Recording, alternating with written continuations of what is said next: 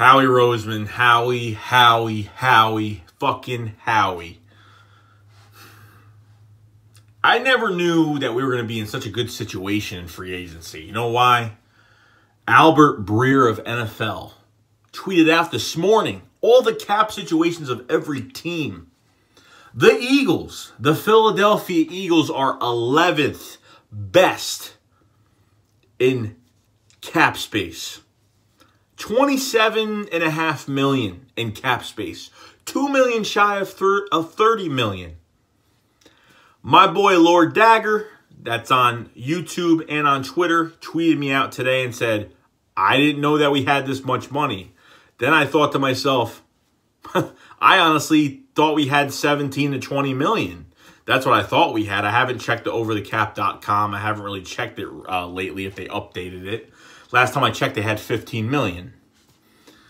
Um, 27 and a half million in cap, 2 million shy of 30 million in cap space for the Philadelphia Eagles. A week before free agency, the, the, the Philadelphia Eagles, Howie Roseman made maneuvered some money around, restructure of restructure of Lane Johnson, the restructure of Rodney McLeod to keep him here for one more year. Um, Jason Kelce extension made him the highest paid center, but saved four million in cap space. Getting rid of getting rid of Stefan Wisniewski, which gave us three million in cap space. He, he's done it all. He's uh, trading Michael Bennett. That was probably one of the biggest ones. Weren't going to pay him extra money because he wanted more snaps and hearing all the bullshit behind it. But a lot of people don't know about this Michael Bennett trade to the Patriots, which pissed us off. But at the same time, it saved 7.2 million this year and it saved 8 million next year. That's what I didn't know about half of that deal. Then apparently with this Malik Jackson contract, he maneuvered. I don't know the, all the details. He maneuvered some money around. He gave him more uh, signing money, and apparently the th the three year, thirty million dollar deal turned into mostly a two year deal. And if he leaves, and, and after the second year, the Eagles can pick up an option if they want, and um, and that freed up some money too. I don't know all the statistics to that deal. But Albert Breer posted this morning, not today at midnight when I'm doing this video, I'm talking about this morning, and 27 and a half million for the Philadelphia Eagles, 11th best. We were what 1.6 over the cap at the end of the season in 2018 made a bunch of moves a week before free agency, and we were the 20th best team. Now we're the 11th best team in cap space with 27.5 million. I got to give it to him. I don't see any GMs doing this. Now, I've seen GMs restructure, of course. Um, I've seen it, you know what I mean? But, man, this guy is just, he just knows he just knows how to do his job well. That's just it. That's why he gets paid. That's why we can never get rid of Howie Roseman. He's with us for what another three seasons, counting this year. Um, we got to give it to Howie. Uh, we really do. Twenty-seven and a half million, and I don't even think it's over yet. I don't even think we're done yet with the restructures or whatnot. Um, um, some people get confused because restructures aren't pay cuts. Restructures is just moving money around, giving less.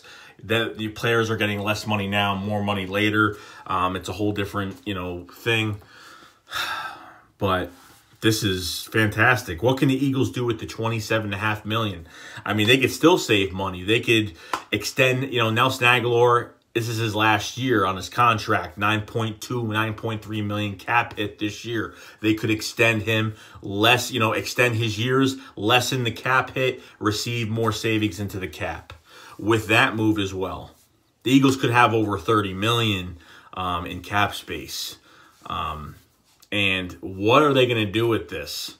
Um, Howie's moving a lot of money around right now, and uh, I, I'm thinking, you know, free agency, the big rush of the first, you know, all the really top tier players are gone.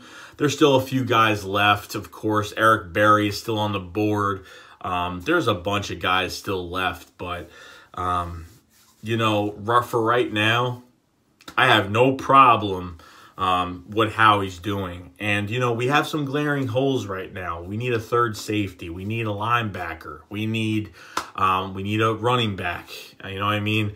Um, we might need some depth at receiver. We need those depth signings, and Howie hasn't really done those depth signings. The cornerback position, we retained all our corners. Look what Howie did. Ronald Darby went to, you know, visit the Kansas City Chiefs, didn't come back with a deal figured, hey, I'm going to go back to Philadelphia for one more year. He said he loved being here. He loved playing for us. He loves this city. And he would rather, before he gets paid big money, he'd rather go back to where he is, where he knows the scheme and he knows the guys and he doesn't have to go somewhere new and try to do something at a, at a you know at another team to try to get his big money. I think it would be harder for him to get big money next year if he's on a whole different team, new scheme, new coach, new players, new surroundings around him. You know, a different way of doing things, a different culture. But when he's here, he has more of a chance to get a bigger contract because he'll play well. Um, but most likely he won't play the first week. But you know, um, you know, he had his torn ACL, he had his injury. You know, uh, he had the surgery late November, so um, probably won't play the first week, but um, Howie just retained our whole secondary back. Um, and that's brilliant. That's brilliant. I'm glad. I'm glad all the guys are back. Avonte Maddox, Cre'Von LeBlanc, Rasul Douglas, all them boys are back together. And it's and it's a great thing. I don't I could see the Eagles going out and drafting one more fucking corner in the draft. Not early, but hell, they'll draft one in the fifth round. I don't even care. Um, if somebody in the fifth round, you know, a corner gets picked in the fifth round, we pick a corner and he turns out to be better than Jalen Mills, for hell, he could he could start over Jalen Mills. I mean, it's it's just it's about competition. That that's what it's all about. Um, so I'm happy with it. Howie's been doing a great thing. I couldn't believe how much money. Um, if I didn't say it before, uh, um, shout out to Lord Dagger on Twitter, Lord Dagger on YouTube as well. Um, he kind of, you know, uh, tweeted me out. Was like, "Do we really have this much money?" I was like, "Wow, I, I thought we had at least between 17 to 20 million. That's what I thought. Because um, last time we had 15, we did the restructure to Nigel Bradham and Chris Long a few days ago. That freed up 5.3 million. Um, so, wow, um, I'm impressed. And I'm actually excited to see what they do with the rest of what they have. I'm not saying they need to spend it all, but um, kind of excited to see what happens.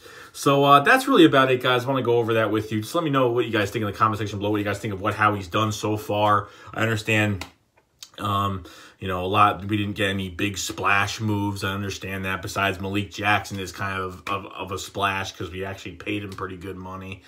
Um, but other than that, that's really it. So let me know in the comment section below what you guys think of this. And I will see you guys later. Shake Squad up. Flyles fly.